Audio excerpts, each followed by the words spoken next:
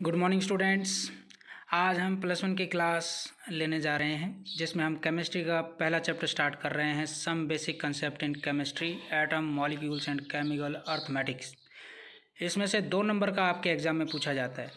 तो चलिए अब हम शुरुआत करते हैं केमिस्ट्री के लेक्चर से। फ़र्स्ट लेक्चर ये मेरा। होपफुली आपको अच्छा लगे।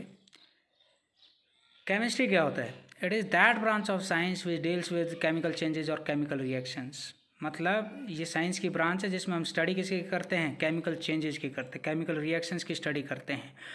उसको हम केमिस्ट्री कहते हैं। वहीं बात करते हैं केमिकल रिएक्शंस की। अब देखिए, मैंने केमिकल चेंजेस की और केमिकल रिएक्शंस की बात करी है तो एक केमिकल रिएक्शन ले लेते हैं एग्ज़ाम्पल के फॉर्म में। मैंने एग्ज़ाम्पल लिया है सोडियम क्लोराइड को जब हम वाटर के साथ रिएक्ट कराते हैं तो सोडियम हाइड्रोक्साइड और एच हमें क्या होता है? प्राप्त होता है। तो केमिकल रिएक्शन क्या होता है? मतलब dissociation of the old bond मतलब ओल्ड बोन्ड को क्या करना? तोड़ना। और नए बोन्ड क्या करना? बनाना। ये कहलाता है केमिकल रिएक्शन कहलाता है। जैसे एग्ज़ाम्पल ले लिया solubility of sodium chloride in water is a chemical reaction अगर हम बात करते हैं सोडियम क्लोराइड को वाटर के साथ रिएक्ट कराते हैं तो वो क्या कहलाएगी? केमिकल रिएक्शन कहलाएगी। तो होपफुली आपको ये समझ में आया होगा। इसी में दो चीज़ें आपको देखने को मिलेंगी। एक तो रिएक्टेंट और दूसरा क्या है? प्रोडक्ट ये जो साइड आपको दिखाई दे रही है, जिसको हम लेफ़्ट हैंड साइड बोलते हैं, ये है हमारा क्या? रिएक्टेंट साइड जहाँ पर सोडियम क्लोराइड और वाटर आपस में रिएक्ट कर रहे हैं। तो ये क्या है? रिएक्टेंट साइड और जो हमें बाद में प्राप्त हुआ है, नए बॉन्ड बने हैं यहाँ पर सोडियम हाइड्रोक्साइड और हाइड्रोजन क्लोराइड ये क्या है? प्रोडक्ट है। इसके बारे में मैं अब आपको थोड़ा सा आगे बता रहा हूँ। रिएक्टेंट क्या होता है?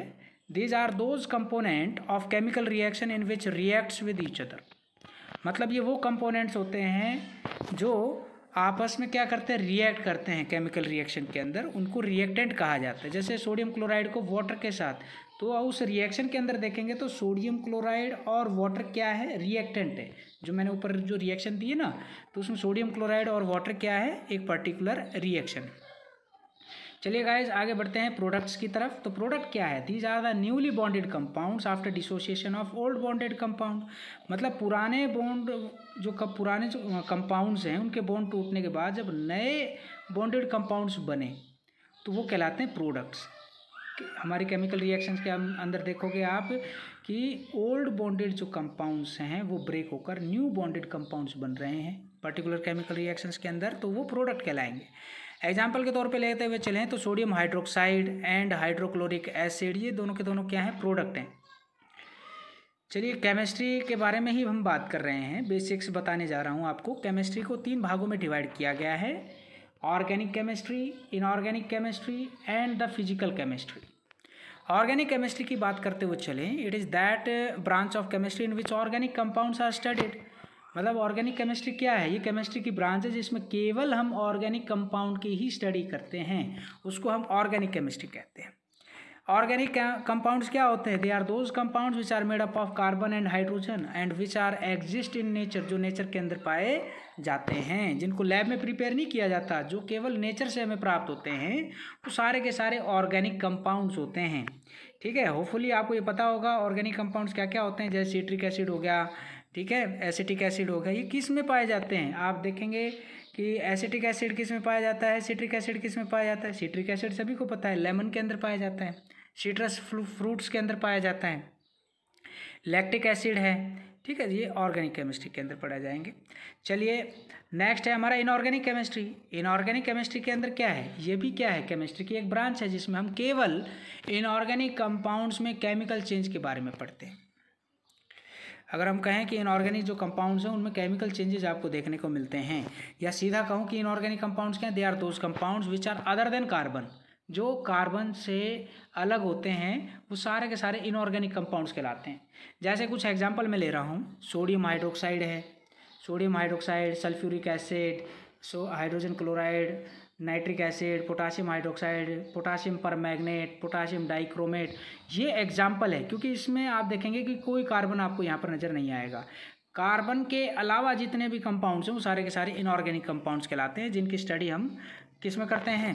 केमिस्ट्री के अंदर करते हैं, वो इनऑर्गेनिक केमिस्ट्री कहलाती है। तो गाइज़ नेक्स्ट क्वेश्चन है हमारा फ़िज़िकल केमिस्ट्री फ़िज़िकल केमिस्ट्री क्या है? It is the branch of chemistry which deals with the physical changes हम बात करते हैं किसकी?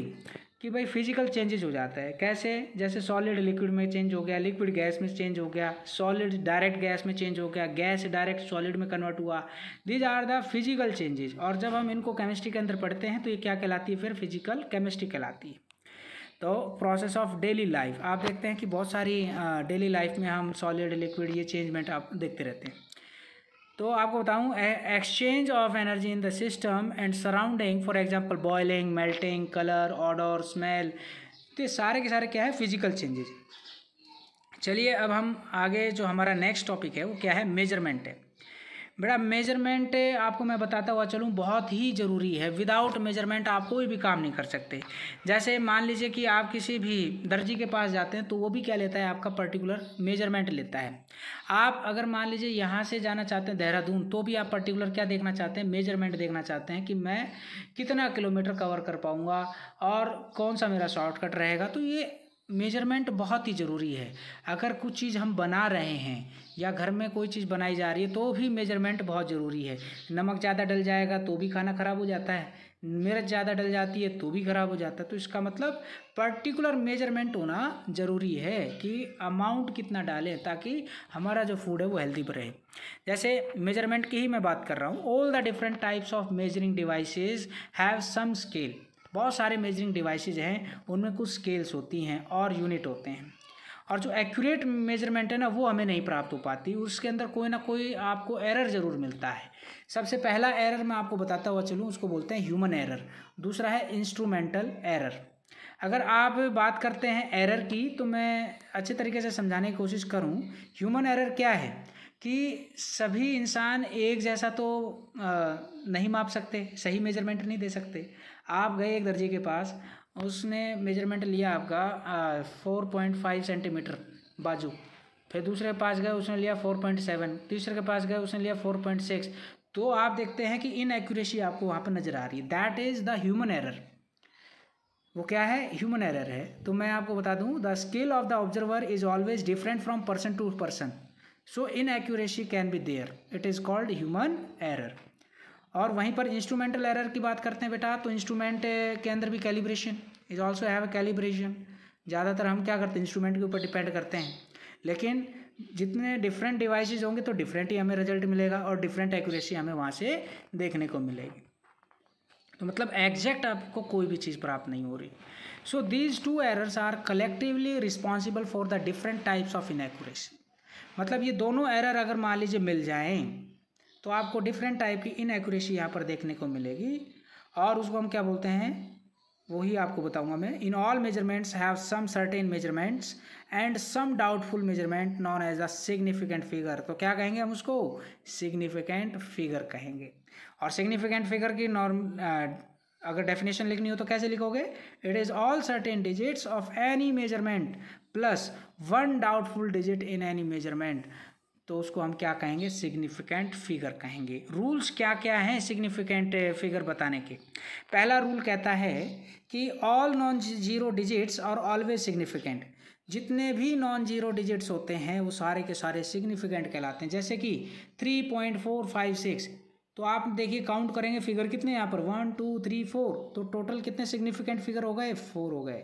वैसे ही फोर फाइव टू इसमें कितने सिग्निफिकेंट फिगर हैं बच्चों? इसमें है थ्री तो यहाँ पर थ्री है। होपफुली ये आपको समझ में आ गया होगा। इसी प्रकार से सिग्निफिकेंट फिगर्स की बात करते हुए चलते हैं। तो नेक्स्ट है, ये जो रूल है वो बताता है कि if zero is present between two non zero digits then zero is also significant अगर मान लीजिए दो नॉन ज़ीरो डिजिट्स के बीच में कोई ज़ीरो आ जाती है तो वो भी सिग्निफिकेंट कहलाएगी। जैसे थ्री ज़ीरो ज़ीरो टू तो इसमें कितने सिग्निफिकेंट फिगर हो गए बेटा? चार हो गए। जैसे two point zero zero zero eight total digits कितने हो गए? पाँच। अब देखिए, नॉन ज़ीरो कौन कौन से हैं? दो और आठ। मतलब दो और आठ के बीच में देखिए, तीन ज़ीरो हैं। तो ये सब के सब क्या है? सिग्निफिकेंट कहलाएँगे। तो मतलब फाइव सिग्निफिकेंट फिगर्स आप यहाँ पर लिखेंगे। वहीं पर नेक्स्ट है बच्चों if the zero is leading then it is not significant अगर मान लीजिए ज़ीरो सबसे आगे है तो ज़ीरो को हम सिग्निफिकेंट नहीं काउंट करेंगे। जैसे zero point zero zero zero two. इसमें देखेंगे तो बहुत सारी ज़ीरो आगे हैं टू के तो केवल एक सिग्निफिकेंट यहाँ फिगर यहाँ पर काउंट होगा। ज़ीरो ज़ीरो टू, यहाँ पर भी एक zero zero two eight three तो यहाँ पे थ्री सिग्निफिकेंट फिगर काउंट होंगे। तो ये आपको अच्छे तरीके से याद रखना है। If zero is trailing then it is meaningful और सिग्निफिकेंट अगर मान लीजिए ज़ीरो क्या कर रहा है ट्रेल कर रहा है, पीछे चल रहा है किसी डिजिट के नॉन ज़ीरो डिजिट के पीछे चल रहा है तो वो भी क्या कहलाएगा? सिग्निफिकेंट कहलाएगा। जैसे फोर ज़ीरो ज़ीरो ज़ीरो तो कितने हो गए? चार हो गए ना? तो चार four significant figure significant figure आप यहाँ पर काउंट करेंगे। और two point zero zero zero तो यहाँ पे भी टोटल कितने हो गए? फोर सिग्निफिकेंट फिगर मतलब ज़ीरो अगर पीछे चल रहे हैं तो कोई दिक्कत नहीं, सारे के सारे सिग्निफिकेंट कहलाएँगे। अब उसी तरीके से पांचवा क्या है? The representation of power of any value is not count an significant जैसे एक वैल्यू ले लेता हूँ मैं six point two five multiply ten की पावर एट ये ले लिया मैंने। तो इसमें सिग्निफिकेंट फिगर कितने हो गए? थ्री सिग्निफिकेंट फिगर होंगे। कितने होंगे?